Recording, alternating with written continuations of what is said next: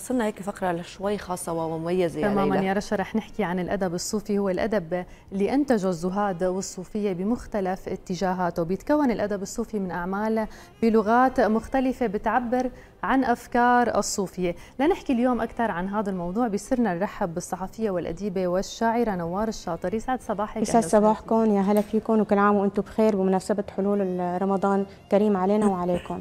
وعليك يا رب وعلى كل عائلتك. أهلا وسهلا بحضرتك أستاذة نوار. اليوم عم نحكي عن أدب جدا قريب للروح خلينا نقول. هو منبعه الروح إحساس. عم يحاكي النفس البشري ولكن بداية خلينا نعمل هيك تفرقة ما بين التصوف والشعر الصوفي. بداية التصوف هو مصطلح واسع في له تعريفات متعددة. آه، من ناحية إذا بدي أحكي أنا بشكل مختصر هو ظاهرة آه، دينية تمثل أو تجسد الوصول إلى الله عز وجل عن طريق العبادة والتجربة الشخصية. أما من حيث اللغة فبيقول ابن خلدون بمقدمته أنه لفظة الصوف اشتقت من كلمة الصوف التصوف من كلمة الصوف. وطبعا كانوا الزهاد أو المتصوفين بيلبسوا الصوف رمزا للزهد وأنه هن بعاد عن الدنيا. آه في كلمات ثانية بتقول أو تعريفات ثانية بتقول أنه هو اشتق من كلمة الصف يعني دائما المتصوفين آه قلوبهم حاضرة في الصف الأول مع الله عز وجل. وفي قول ثاني بيقول أنه هن من أهل الصفة يعني بيحملوا الصفات الحميدة والأخلاق العالية طبعا يلي هن بيدعوا لها وفي تعريف أو مؤرخين بيقولوا أنهم هن بيعودوا لأهل الصفة وهن فئة آه، كانت موجودة بزمن الرسول محمد صلى الله عليه وسلم. كان في لهم مكان مخصص في الحرم النبوي. كان حضرة النبي يصدق عليهم وكانوا زاهدين وفقراء. وهن عرفوا بالمتصوفين الأوائل. آه، أما الأدب الصوفي فهو نوع من أنواع الأدب آه، بيحمل القيم والأخلاق والمثاليات العليا يلي حكى عنها المتصوفين وبينظم وبيشمل النظم والنسر والشعر والأخلاق والتاريخ والفلسفة. نشأ بالعصور الوسطى وبيرصد مراحل متعددة لفكرة التصوف. يعني نحن فينا نقسم الأدب الصوفي لعدة مراحل. المرحلة الأولى نعم. آه تمثلت بالشعر اللي بيحكي عن الزهد وكانت من أبرز أعلامه السيدة رابعة العدوية. مم. المرحلة الثانية هون بلش الأدب الصوفي آه يدخل له أو يتأثر بموضوع علم الكلام والفلسفة. وكان من أبرز أعلامه الحلاج يلي كان هو شهيد الحب الإلهي. بالإضافة ظهرت كلمة أو مصطلح الطريقة والطريقة هي يعني مجموعة قواعد السلوكية آه، بياخذها المريد عن شيخه وهي طريقة للوصول إلى الله عز وجل. المرحلة الثالثة آه، كانت النزعة الفلسفية واضحة جدا وكان أبرز أعلامها هو ابن عربي اللي طلع بفكرة وحدة الوجود نعم. الإنسان الكامل الحقيقة المحمدية. المرحلة الرابعة هي امتداد للمرحلة الثالثة. المرحلة الخامسة آه، ممتدة لوقتنا الحالي وأبرز أعلامها عبد الغني النابلسي. تمام يعني نحن بنعرف هو الأدب الصوفي هو تجربة آه، روحية بيعيشها الكاتب بوجدانه بمشاعره بيترجمها بكتبه بقصائده. خلينا نحكي عن أهمية هذا الأدب.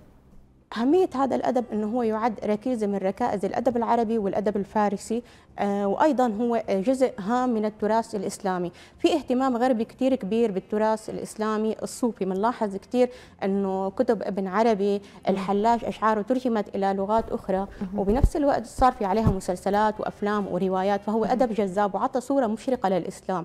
وكمان كونه هو بيميل للروحانيات والقيم العليا فالناس دائما بتبحث عن المدينة الفاضلة يلي حكى عنها آه، أفلاطون. فالمدينة الفاضلة أو والإنسان الكامل هي الأفكار موجودة عند المتصوفين وجذبت الغرب.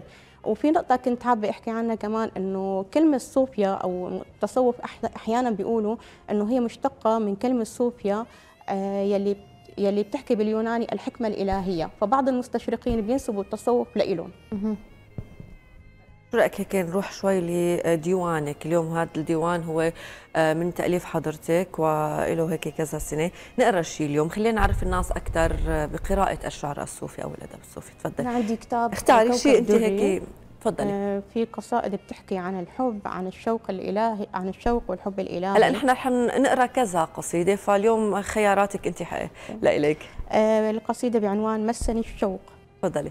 ارحم قلبا بنار جوى تلظى كلما زاد قربا تعشق هواك ومضى به البكاء حد العمى. فمن رآك لا يبصر إلاك ومن طلبك يفنى عن سواك. صني بحبل ودك واسقي النبض مسكا. الروح تتقفى أثرك في كل درب وطريق. يا من على الصراط دلني عليك إليك. قد مسني الشوق قد مسني الشوق وأنت سيد الواصلين. لو شو بيميز الشعر الصوفي؟ يعني كنوع من أنواع الأدب يعني. هل اليوم في شيء بيميزه عن الشعر التقليدي اللي نحن بنعرفه؟ الشعر الصوفي بيتميز بأسلوبه في له أسلوب بيعتمد على التناص مع القرآن الكريم أو الأحاديث النبوية أو الكتب المقدسة. فبنلاحظ وجود الكتاب المقدس بالشعر الصوفي كمصطلحات ومفردات. بالإضافة إنه المتصوفين في عندهم مصطلحات خاصة بيستخدموها بين بعضهم مثل الرموز. مثل فهن مثل الشطح مثل مفهوم لنحكي ليلى. بنلاقيهم كثير بيتغنوا بالقصائد ليلى. وليلى ليست امرأة يعني بالشعر الصوفي إنما هي عروس الحضرة وهي عروس الحضرة هي الروح بأسمى معانيها وما بيشوفوها غير الناس يلي وصلوا لمقام المشاهدة أو العارفين الكبار بالله. فبيتغنوا بليلى وبنشوف كمان إنه في عندهم خيال واسع في عندهم مفاهيم وأفكار فلسفية مختلفة عن الشعر. فنحن بنقول إنه هن عندهم أسلوب معين وفي عندهم مواضيع معينة وفي عندهم طريقة خاصة بصياغة الشعر تبعهم ولإيصال الأفكار للناس بطريقة حلوة. آه كمان مو بس في شعر في عندنا نصر صوفي في عندنا آه في عندنا روايات في عندنا يعني التصوف بشكل عام هو فكرة فلسفيه شملت أشياء كثيره مو بس الأدب إنما الغناء بنلاقي غناء صوفي بنلاقي أيضا رقص صوفي فبنلاحظ إنه هذا الانعكاس هو انعكاس لفكرة فلسفية أو لإيديولوجية عامة بكل أنواع الفنون والآداب. اليوم وقت بدنا نقول التصوف يعني التصوف هل هو بحكر فقط على الرجال أم النساء اليوم بيستطيعوا إنهم يكونوا صوفيات؟ طبعا الصوفيات في لهم حضور قوي في عالم التصوف وأول صوفية عرفت هي السيدة رابعة العدوية فكانت أول شاعرة صوفية آه، قالت بمعنى الحب الإلهي أو حكت بالحب الإلهي. وكل الشعراء من بعدها أخذوا لفظة الحب ودخلوها آه، لأشعار وقصائد. واشتهرت هي بموضوع الحب الإلهي فقالت أحبك حبين حب الهوى وحب لأنك أهل لذاك. فأما حب الهوى آه، فانشغالي بذكرك عما سواك. وأما الذي أنت أهل له فكشفك الحجب حتى أراك. أيضا في عنا من الأعلام المعروفين فاطمة السيدة فاطمة النيسابورية وهي معلمة الزنون المصري وهو من أبرز أعلام التصوف بالاسلام وبالعالم العربي. كمان في السيدة فاطمة بنت مثنى القرطبي هي المعلمة الروحية لابن عربي. ابن عربي التقاها بإشبيليا كان عمره بحدود العشرين سنة وأقام معها عدة سنوات وأخذ عنا وكتب عنا بمذكرات وهيك نحن عرفناها. وفي متصوفة غربية كثير حابة أحكي عنها اسمها آنا ماري شيميل. هي متصوفة مستشرقة ألمانية آه ولدت في عائلة مسيحية آه من طائفة البروتستانت. كان كثير بيجذبها موضوع التصوف والروحانيات. والشرق بشكل خاص فتعلمت اللغة العربية ودرست الدين الإسلامي وبلشت تعمل أبحاث عن التصوف فكانت هي آه، أول امرأة ألمانية ألقت آه، محاضرة عن عن الحب الإلهي في التصوف الإسلامي بجامعة بألمانيا بعد الحرب العالمية الثانية. وكمان هي كانت مدرسة بجامعة هارفارد وجامعات ثانية. آه، قدمت من خلال مسيرتها الكبيرة الصورة المشرقة للإسلام الصورة المشرقة للعرب. هي كمان ترجمت أشعار نزار قباني أدونيس نازك. الملائكة بدر الدين السياب. فبنلاحظ أنه في عندها روح حلوة وجسدت لنا انه التصوف ما هو حكرا على النساء ولا حكرا على دين معين. إنما هو يعني مذهب فكري ممكن أي حدا يعتقه إذا هو حبه ولا في انجذاب له هون ذكرتي نقطة آه، في ناس ممكن يعتقدوا إنه نحن اليوم عم نحكي عن فلسفة دينية أو عم نحكي عن ناحية دينية ولكن اليوم نحن عم نحكي عن أدب متعدد المعاني. آه، خلينا نتوسع بمعاني أكثر يعني بعيدا عن الدين. كرمال نحن نميز بين الفكرة الفكرة الدينية والأدبية. هلا هو نحن عندنا اسلاميا وعربيا ارتبط التصوف بالدين بشكل عام. يعني العقيدة الأساسية للمتصوفين قائمة على فكرة دينية.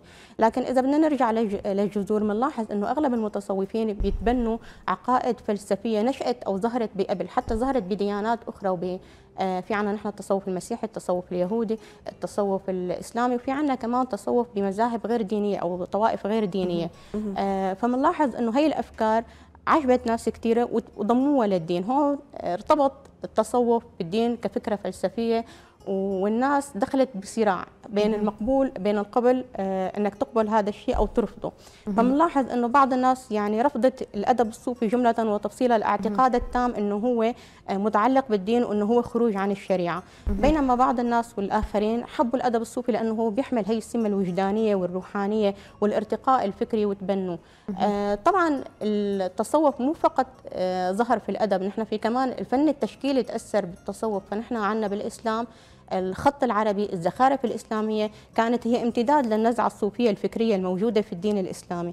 حتى الفن التجريدي كمان تأثر بالتصوف فهي الأشكال أو ما وراء الطبيعة آه كمان لها علاقة بالروحانيات والغرابة يلي بيحبوا الفنانين يرسموها. فمنلاحظ أنه هو يعني فكرة حياتية شاملة لكل شيء. اقرأي لنا كمان شوي من خواطرك الصوفية. رح نقرأ عنوان